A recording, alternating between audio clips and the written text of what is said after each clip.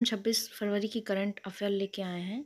उस current affair की series को आगे बढ़ाते हुए। पहला, हाल ही में किससे जिनेवा में आईएलओ के बाहर लेखक परीक्षक के रूप में चुना गया है? आंसर, गिरीश चंद मुर्मू। सेकंड हाल ही में आईएसएफ विश्व कप 2023 में 10 मीटर एयर राइफल में स्वर्ण पदक किसने जीता है? रुद्रांश पाटिल। थर्ड, हाल ही में किस देश के फुटबॉलर सर्जियो रोमांस ने संन्यास की घोषणा की है? Answer, Spain. फोर्थ, हाल ही में किस देश ने डेंगू के बढ़ते प्रकोप के कारण स्वास्थ्य आपातकाल की घोषणा की है? Answer, Peru. Fifth, Andhra Pradesh के नए राज्यपाल कौन बने हैं? Answer, S Abdul Nazeer.